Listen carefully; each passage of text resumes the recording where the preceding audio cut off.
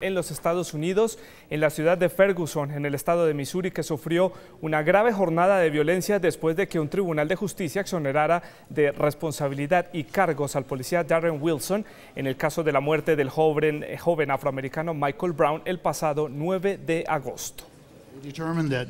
Luego de la decisión judicial que libró de cargos al oficial Wilson al no comprender pruebas suficientes para acusarlo, generó indignación por parte de la comunidad.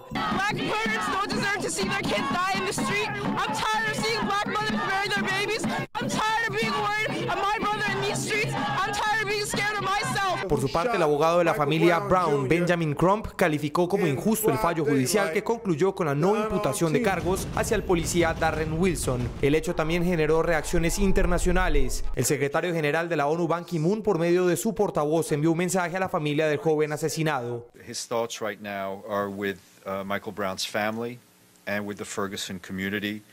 I think he appeals uh, to all those in Ferguson and throughout the United States uh, who felt disappointment at the grand jury's decision to make their voices heard peacefully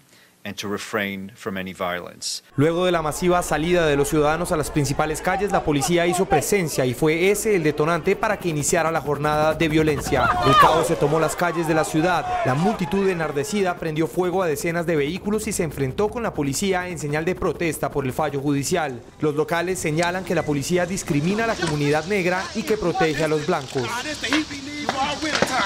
Sin embargo, a pesar de la presencia de la policía, cientos de personas quebraron las ventanas de los locales comerciales e ingresaron a los almacenes para realizar saqueos. We do not tolerate criminal activity. We looting, crime associated with these. So while we support everybody's right to come out and have their voices heard, you will see a large police presence, and when crime starts, you'll see us an intervention much more quickly than we did last night. Hoy la ciudad amaneció gravemente golpeada, aunque un escuadrón especial de agentes de policía custodia las principales calles, decenas de estructuras quedaron reducidas a escombros por la grave protesta de los habitantes de Ferguson. Before I address what happened here, I want to first and foremost condemn uh, the terrible violence that occurred in Ferguson.